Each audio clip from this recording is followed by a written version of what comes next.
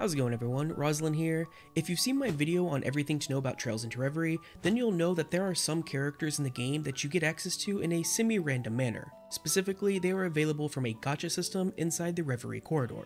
Well today, I'm going to be going over exactly when each character is added to the pool of possible characters to acquire, and how you can guarantee you get access to the ones you want as early as possible, with a little help from save scumming.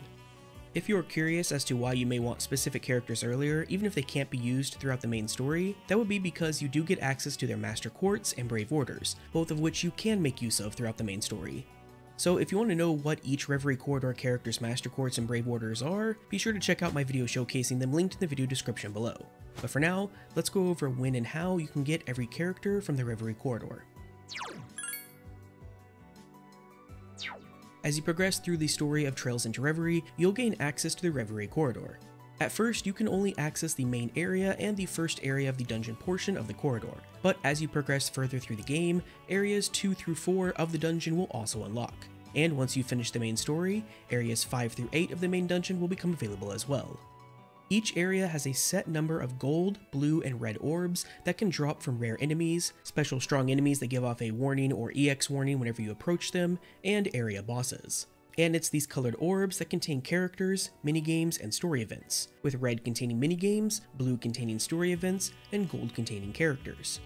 Now, I'll be focusing on characters and gold orbs for this video, but everything I say about them also applies to the red and blue orbs as well so there are a few things you do need to understand about these orbs. First, there are exactly enough orbs to get everything. 10 characters can be obtained in the Reverie Corridor, and there are a total of 10 gold orbs, so you don't need to worry about getting Xenoblade 2'd, uh, like me. Cressidus has still yet to come home despite close to over 400 total hours of playtime. Second, of those 10 characters, you can only get 5 of them throughout the course of the main story, with the remaining 5 being post-game.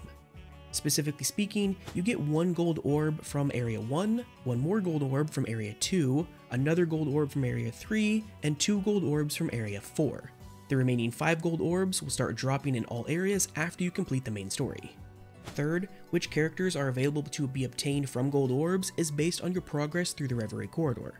When you first gain access to the corridor, Alfin, Angelica, and Roselia will be in the character pool.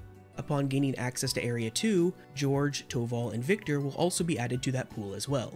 And finally, upon reaching Area 3, Olivier and Scherazard are added, Vita is added, and also Aurelia is added. The 10th and final character will be added upon completing the main story and starting the post-game. Fourth, you can see how many orbs you have left to acquire both overall and in a given area of the Reverie Corridor by opening up the fast travel menu and looking at the lower right hand corner of the screen. And finally, what character will appear from a gold orb is determined as soon as the orb is looted from an enemy and not when you actually go to pull the character. So with this knowledge and a little help from save scumming, we can aim for specific characters. As an example, let's use Toval, seen as his Master Quartz is one of the best for casters. Let us also assume for this example that after getting our gold orb from Area 1, we went ahead and used it and got Roselia. With this example, there would be 5 possible characters to get with the gold orb from Area 2. Alfin, Angelica, George, Toval, and Victor. Roselia would not be included since we already have her. Now, because we know that the character an orb will be is determined at the time the orb drops, what we want to do is make a save right beside a rare enemy. After that, kill the enemy and see if it drops a gold orb. If it doesn't, reload and try again. If a gold orb does drop, immediately go to the gacha machine in the main area of the Reverie Corridor without saving and use the orb. If the character you're looking for appears, in our case of this example that would be Toval, then great, save your game and you're good. If someone else appears, reload the save you made beside the rare enemy and repeat until you get who you want, and that's it. Just substitute Toval for whoever it is you're trying to get. And that'll do it for this video on how to get every single character in the Reverie Corridor. If you found this video helpful and informative, please be sure to leave a like and consider subscribing to the channel if you haven't already.